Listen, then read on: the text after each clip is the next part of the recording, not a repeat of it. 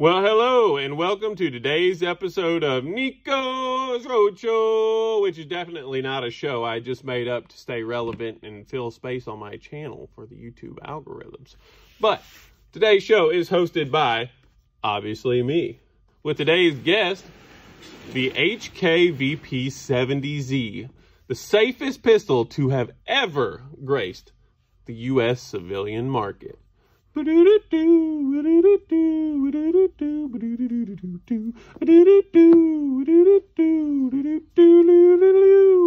Well, alrighty, after my beautiful serenading, let's go ahead and get into this thing.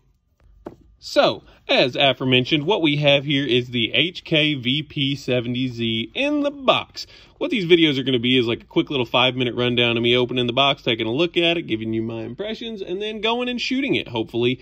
And, uh, will provide some good filler for my channel. You know, without being too dull and boring. So, HK VP70Z, we got the box here. Just cheapy old cardboard. Um, used to belong to Eugene Clark, apparently. Got some neat little metal bobs and bits here on the side that hold it together. I like that green color. Very nice. Got the uh, original manual here. How neat is that? No one cares. And, of course, the factory target so they can let you know that it shoots and let you know that the guy that shot it can't shoot. Not sure how far away they are, but uh, I would hope in a factory setting you could put a little better grouping than that. But then again, it was 1979, and everyone knows boomers can't shoot. So, fold that up, set her out of the way. Tissue paper, neato.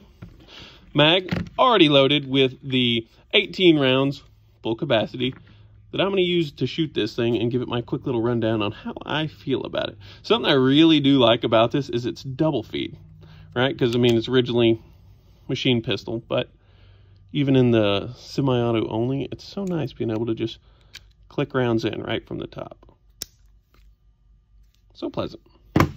The gun itself, which as you'll notice, is absolutely gorgeous with all its nice round curves. Nothing sharp with the exception of where it needs to be. Um, and yeah, it's pretty nice. Although one thing I will say about it that I'm really not a fan of is the sights, man. Those sights are freaking weird. And it's not necessarily that they're bad. They work and they're good. But when you're so used to everything else just being notch, post, it gets kind of funky when you got notch, notch.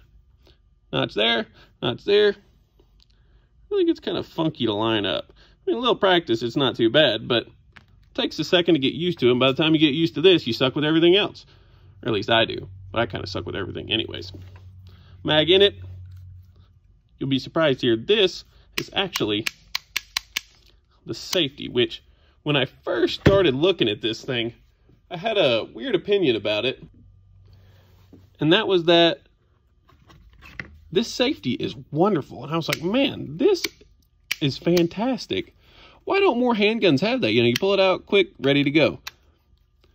And then I started thinking about it, and I was like, such a great idea. Why wouldn't everything have? And then I realized that's probably because most every other handgun has a mag release right there, and I was just kind of dumb. Whereas this one is a heel release, and uh, not exactly the most efficient. But, uh, you know, it works. And for a carry gun, you know, if you're slipping this down in your old waistband, I think that's just fine. Now, let's go ahead and shoot it. And here we are out on the range with the beautiful VP70Z. And I would like to apologize ahead of time for the goofy helmet here. I don't have my Masca on. That's because I, uh, I lost my normal earplugs and this was the only helmet I could find laying around that had some earplugs built into it. So, that being said, the title of this video mentions the safest handgun in the world. And let me show you why that is, right? So we've got loaded mag here. Let's insert that. Put around in the chamber, which I'll show you. There is indeed around in the chamber. Put the gun on fire. It is on fire. You can see the red. And now that it's on fire, you'll notice that it's not going off. There's no grip safety. It's not a mag safety, mag's in. And that would be because this gun has what is possibly the heaviest trigger known to man, somewhere in the realm of 300 to 400 pounds. Squeezing, squeezing, squeezing. Nothing until eventually. Blast. It's wild, isn't it? On fire, just. And that's obviously, that's not a double action then single action. That is double action only, and it is atrocious. But, I mean, hey, I guess. Uh, I don't know too many toddlers with gorilla grips I could set this thing off. So one could be said that this is the safest handgun in the world. But now, let's get back to uh, dumping a mag out of it and see what I think.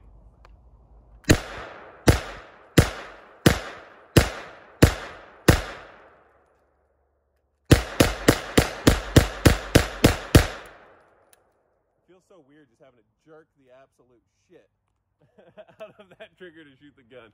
Goes against everything I've ever been taught and thought. But now let's take this thing to the whiteboard and give it a score. Well, alrighty, now that we've got the shooting out of the way, I shall introduce you guys to my scoring system. And what my scoring system is, is it's five categories that are totally arbitrary and based off of my opinions and my opinions only.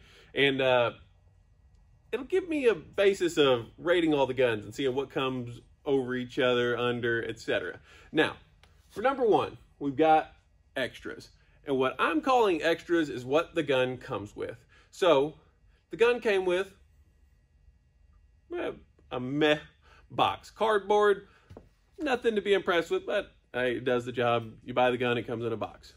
Two, comes with two mags, which is not too shabby. I mean, it's good enough to get you started and going. Um, three, got the owner's manual and all that jazz. Um, nothing special. So, five out of ten, middle of the road. Could come with more, be nicer, but uh, seeing as I haven't made the guns at God knows how long, don't get your hopes up. Number two, reliability. So, I've had this gun for a while and I've shot it a good bit. I wouldn't say a ton. I've ran maybe a thousand rounds through it, which for the meme gun it kind of is. I would say it's decent. Um, and out of that, I would say maybe had two jams total. Maybe the ammo's fault. I don't know.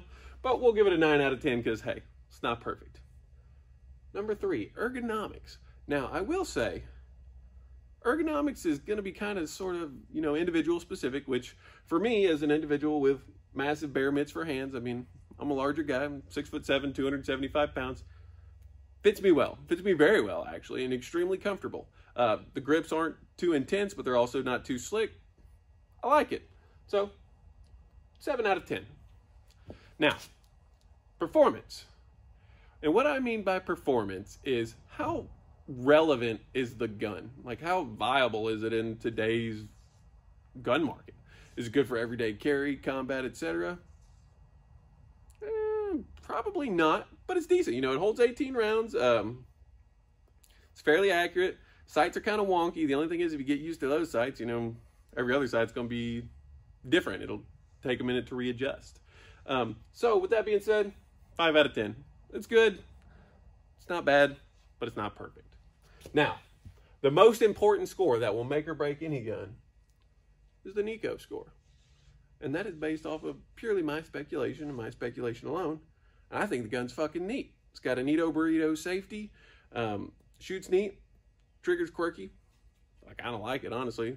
The heel mag release, I know a lot of other guns have it, but I like it. I like weird stuff. It's just me. Now, you take those, average out, gun comes in with 6.8 out of 10. So, it is, uh, for all intents and purposes, a pretty decent gun. And for those of you curious, you can find them on the secondary market right now with an average price of 600 to 800 bucks. So if you see anyone price them any higher, just know that they're butt heads and they're scalpers and don't buy from them because you can find them cheaper all day long. So I think that concludes this. I approve of this gun.